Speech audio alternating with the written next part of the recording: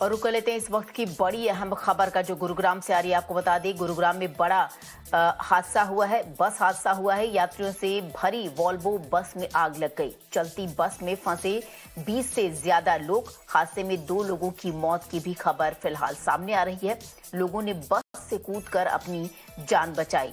और जो घायल हैं, आपको बता दें, दर्जनों घायल बताए जा रहे हैं, जिन्हें नजदीकी अस्पताल में भर्ती करवाया गया है। तो गुरुग्राम से ये भयानक तस्वीर सामने आई है, जहाँ पर चलती बस में आग लग गई है, आपको बता दें।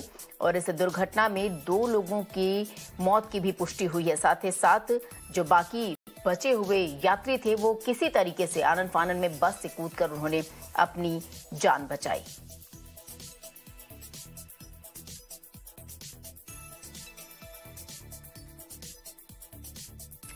तो ये बड़ा अपडेट आपको बता दें, दो लोगों की मौत की पुष्टि हो रही है। गुरुग्राम में बस हादसा हुआ है।